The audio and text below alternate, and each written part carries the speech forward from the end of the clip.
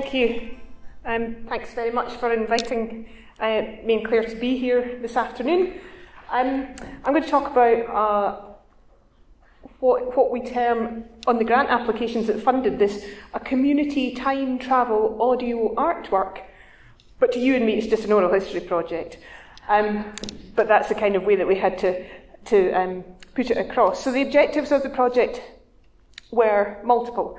Um, so I, I've done a lot of ex, um, community work, and so the objectives were tied in with understanding our community and were to really enhance community cohesion, in, and particularly to um, with an emphasis on intergenerational interaction between young people and older people.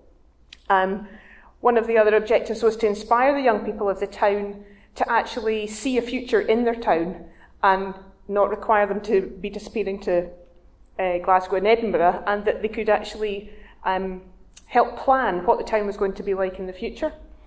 Uh, we're also providing digital technology training for young people through workshops.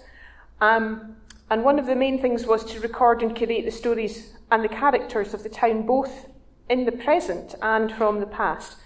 Um, and one of the other main objectives was really to provide some kind of visitor attraction that would bring people to the town. Um, how do I? Which one is it? That one? No. Sorry, can I get a bit of help moving the slides? Which one is it? It'll be these buttons right here. So. Mm.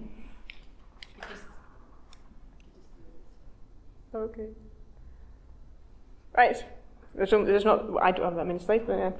Um, so Alyth is um, a pretty rural Perthshire town, which sits on the edge of the Highland boundary fault, overlooking the Vale of Strathmore. And it's bisected, as you can see in the top left-hand picture, by the Alyth Burn, which runs right through the middle of the town. It has quite significant um, heritage assets, including a 5th century church, which you can see the arches, the Alyth arches, as a remnants of. Okay, brilliant, thanks.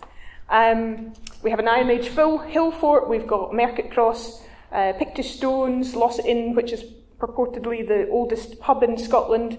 Um, we have some more modern assets, such as a disused telephone box that was um, bought by the Community Council, and just to tempt you there even more, we have the best fish and chip shop in Scotland as awarded recently this year.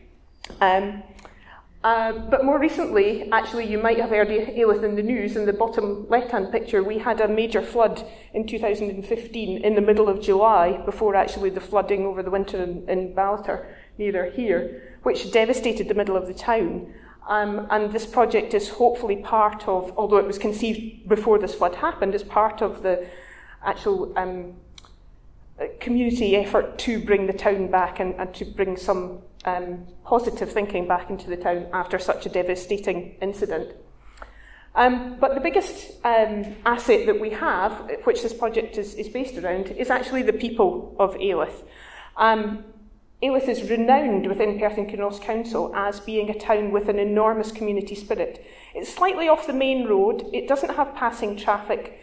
Um, you would have to kind of be going there to get there. And as a result of that, that has advantages and disadvantages. But as a result of that, it has a very strong community that work together um, to do stuff. And the idea of this project was really to capture the stories of this town um, and the people that, that make it such an amazing place to live.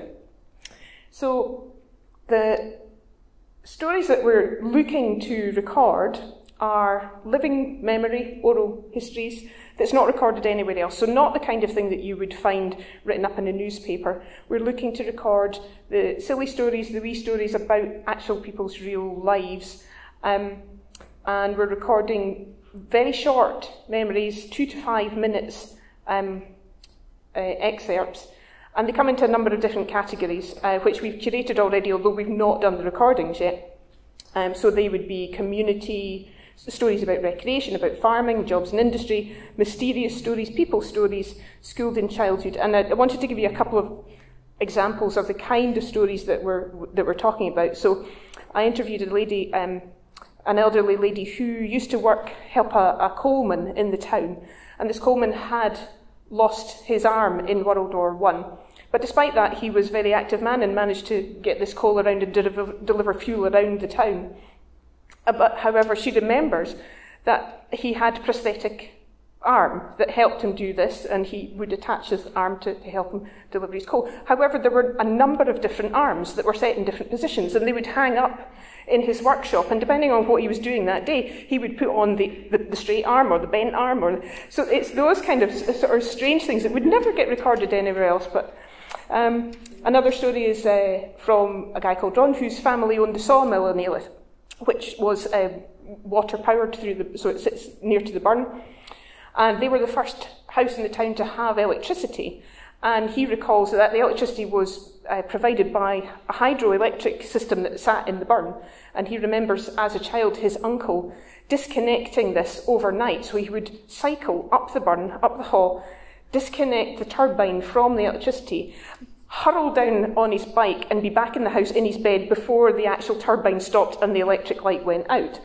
So stories like that are just stuff that is in people's heads that never really gets written down anywhere. So that's what we're trying to capture. The other thing that's a bit different um, about this, and, and, the reason I put these up here is because although we have lots of photographs in Alyth, and we have an amazing Alyth Family History Project that curates these photographs um, of the town, actually there's lots of stories that sit within these photographs that actually are the kind of things that, were, that are not recorded in any other way.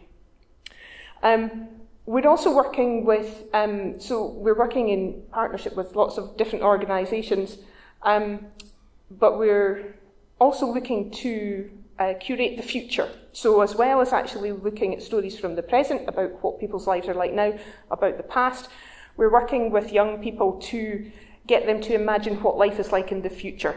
Yeah. Um, and I'm going to pass over to Clare because actually this project sits within a larger programme of work called Cateran's Commonwealth, um, which are, is based around heritage as well. So I'm going to pass over to Clare for a second. Which, which is the one? Okay. Um, so very quickly, uh, this is one of three um, projects that we have spent the last literally three years fundraising for under the banner of Cateran's Commonwealth, which is looking to trailblaze new ways of sustaining uh, creative rural communities. And the way we want to do that is to use the programme to reconnect people to the concept of Commonwealth, um, actually skill up people in all sorts of different cultural and creative practices so that they have more opportunity to have sustainable livelihoods in the area. And we also, over the long term, want to turn the whole area into an alternative learning destination for cultural and creative practices. Um, it's definitely a Be the Change project, even in the three years that we've been developing it, um, that has become more and more consequential to whether we're going to survive and flourish on this planet. This week's news being the latest from America. Um, and the, arguably the concept of commonwealth, which essentially means um, the things that belong to all of us, uh, we've lost connection with. And whilst arts, culture and heritage are very much part of that, there are lots of other things uh, that are, are part of that too. You can go onto the website and have a, have a look. Proper community is a commonwealth, for example. Um, the Cateran Trail itself is an amazing repository of this. It's got fantastic landscape and scenery and history and heritage and archaeology. 1,604 sites of archaeological interest around the trail. Fantastic myths and legends. The King King Arthur myth around Aelith and Meagle and the Finn McCool myth up in Glen Shee. Um, loads of so-called amateur um, stuff happening and the beginnings of a very strong um, professional commu- uh, arts community as well. Um, so in addition to the amazing, fantastic to hear of Huntly's 100 Objects, and I thought, yes, um, we've got a story of the Cateran Trail and 100 Objects, um, also proposed by the community, uh, finally decided um, by a community panel next April. You can go and read about that on the site. Storybox, um, Marian's spoken about, and then finally Common Ground, which um, is actually working with an artist in residence, Deirdre Nelson, contemporary textile artist, one of Scotland's finest contemporary textile artists, using new aerial photography of the trail, new place name research of the trail, the 100 objects, working with schools and communities to create a new set of cloths for the trail areas. Um, it's been a nightmare putting all this together. Uh, we probably don't have time to go through all the challenges, but that was one of the things that um, we were asked to speak about. Um, it took twice as long as we had thought to raise the money, about £180,000 um, uh, is the cost of the three projects. Um, really, the principal challenges have been around, um, I think, a collision of worldviews. The classic um, traditional institutional worldview and then the kind of place-based community worldview. And I think that's a really interesting conversation in these times when people are talking about community empowerment. Um, we need to find new kinds of infrastructure, I think, to um, help support the kind of place-based community um, projects that are coming through.